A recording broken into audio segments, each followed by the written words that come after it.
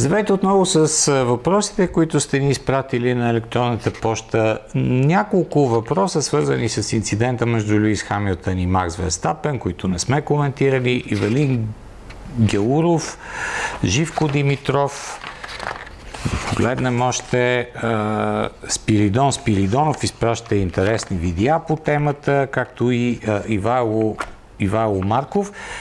В крайна сметка всички те търсят коментари, как гледна точка към инцидента между Макс Верстапен и Луис Хамилтън. При всички случаи тази тема вероятно ще остане част от историята на Формула 1 с много трудно защитими от една страна и трудно доказуеми от друга страна твърдения. Едните твърдения са свързани с това, че действията на Луис са били умишлени, другите твърдения са свързани с това, че в а, крайна сметка Макс е можел да отстъпи и не е трябвало да взема точно тази линия.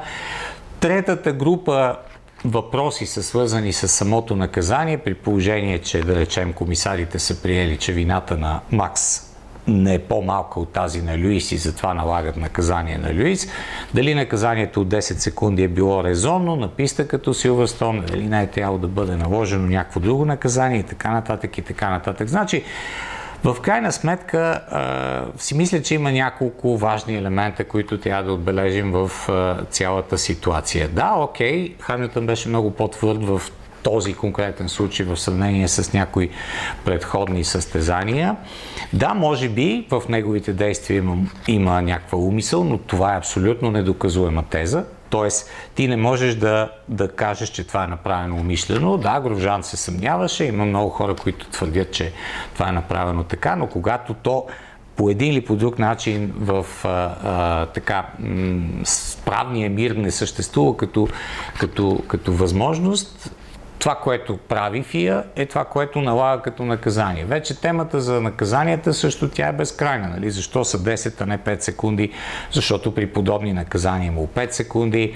Защо наказанието не беше направено с спиране в бокса и така нататък и така нататък. Така че за мен подобен тип а, събития винаги си остават като част от а, фулкора на Формула 1, като част от историята на Формула 1 и винаги една част от хората, които имат предпочитания към един или към друг пилот, към един към друг отбор, имат една гледна точка, която никога не се променя. Значи, никога в историята на Формула 1 няма абсолютно м- сходство на вижданията относно много подобен инцидент на този на Силвърстон, примерно между Прост и Сена през 90-та година на Сузука. Просто това е един момент, в който особено на фона на всичко това, което е станало между тях 89-та, дори от 88 година.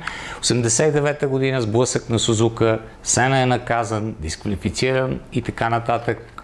Тогава ръководството на спорта е с френски президент, сега нещата са много различни и президент на ФИА отново е французин, само че контрола над Формула 1 е осъществен по един съвсем различен начин и в крайна сметка тогава част от гледните точки са насочени към това, че 89-та година, видите ли, ФИА е действала в полза на Ален Прост. 90-та година, след инцидента, шампион стана Сена. И, и много голяма част от упреците към него са свързани с това, че инцидент е бил умишлен. Доказателства обаче няма. И в крайна сметка всички от тези, които са, примерно, почитатели на Сена, почитатели на Макларан, казват, окей, той нямаше никаква вина за това, което стана на а, първия завой през 90-та година. Така че и тук нещата ще, ще останат според мен по същия начин, особено ако този инцидент окаже някакво съществено влияние върху развитието на шампионата и това кой ще бъде, кой ще бъде шампион.